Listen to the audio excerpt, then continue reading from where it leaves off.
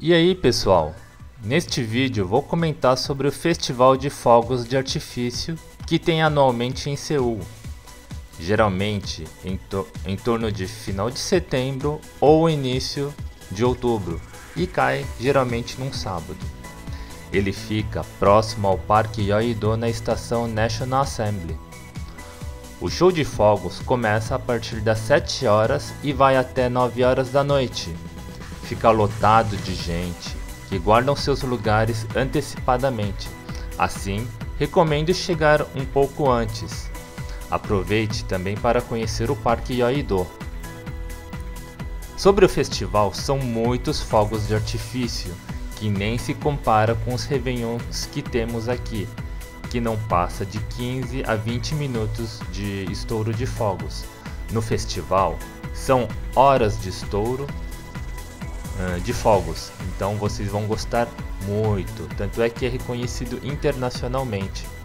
Separei os melhores momentos do vídeo no vídeo e espero que gostem. Os detalhes estarão na descrição. Valeu!